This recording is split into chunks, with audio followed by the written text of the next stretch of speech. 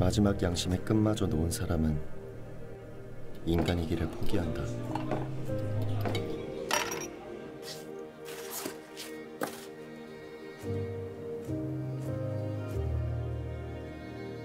다들 조용. 전학생이 왔어. 안녕, 차세영이야. 앞으로 잘 부탁해. 별명이 잘좀비야. 학교에서 잠만 자. 집 망해서 급식비도 못 낼 정도. 뭐야, 걱정되게. 지금 상태로서는 항암 치료를 하고 수술을 해야 하는데 비용이 여기 앞인데요. 경찰서요?